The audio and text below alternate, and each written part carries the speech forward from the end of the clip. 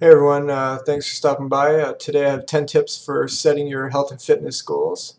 So why do most people not reach their goals? Because they don't set them in the first place.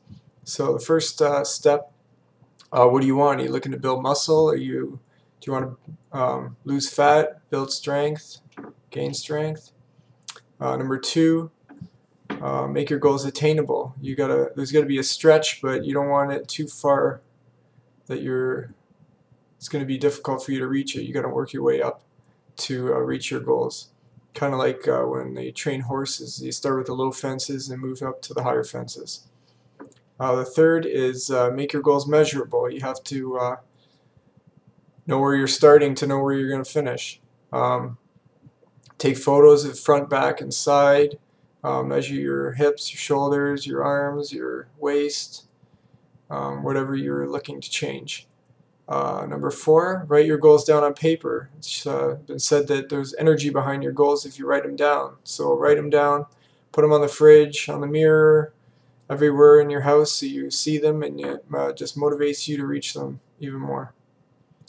Uh, number five, uh, when do you want to reach your goal? You gotta gotta have a deadline. Just like when you were in school, there's a, a deadline for your assignments. That's the only reason most of us got our assignments done. So you gotta have, have a deadline for it so you uh, know when it's due. Uh, number six, uh, what steps are you going to have to take? Do you, are you going to need to lift weights? Are you going to need to do cardio? Are you going to uh, need to eat right? Replace uh, some foods, eat healthy, cut calories, count your calories, um, figure out what steps you're going to have to take. Uh, number seven, you have to come up with a plan. You can make your own plan. You can buy a plan. There's lots of uh, different workouts and DVDs you can buy. Um, also lots of diet plans you can follow as well. Number eight, just get it done. It's time to get to work. Just get off the couch, get out there, start moving around, start eating healthier. Uh, number nine, keep at it each day. No matter what you think, you know, after a couple weeks, you probably think you're not getting anywhere. Just keep doing it, day in, day out. Just uh, keep gaining momentum, and uh, you're going to reach your goals. And number 10, make your goals public.